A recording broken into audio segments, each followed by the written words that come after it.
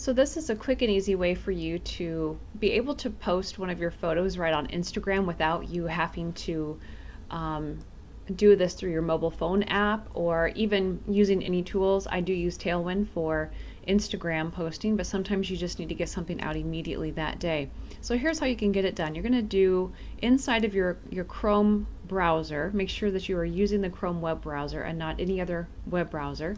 You're going to do a right click with your mouse on your computer. You are going to click on inspect.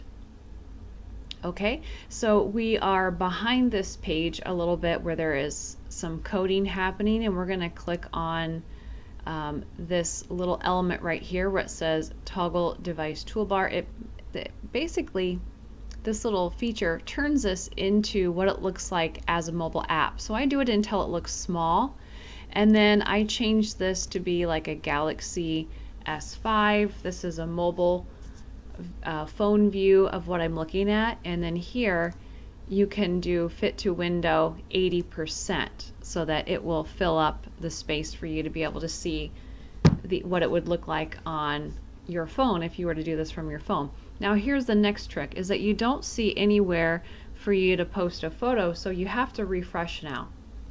So you're going to do the refresh button and now down here you have that little plus button at the bottom. So I'm going to click on that plus. That is where you can upload your picture. So I'm going to um, pick one here real fast and I'll show you how quick and easy this is.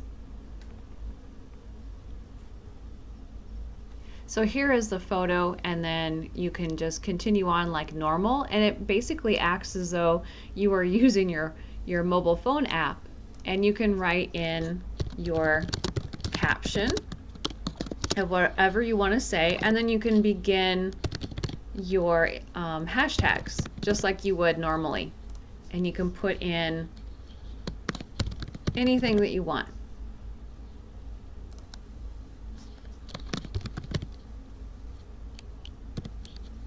So I'm gonna just pick a few here. And then you can you can do you know as many of these hashtags as you want. Typically, I will go up to 30, if especially if I'm scheduling out in Tailwind. Um, right now, I don't think that's real important to do. But when you feel like you've got, um, you know, everything of what you want in here, then you can just click the share button when you feel like you're ready. And that's basically it.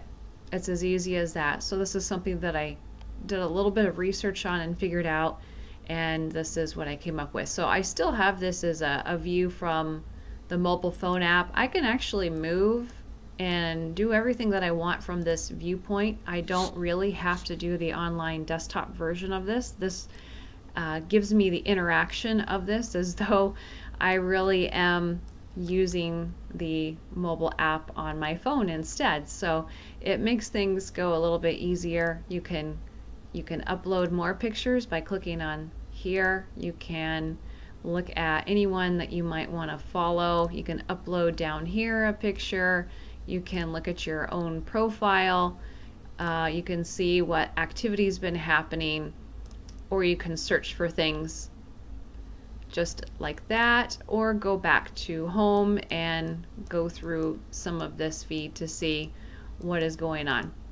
So that's just a quick tip for how you can begin using uh, the while posting photos on Instagram without you needing to use the actual app on your phone at all.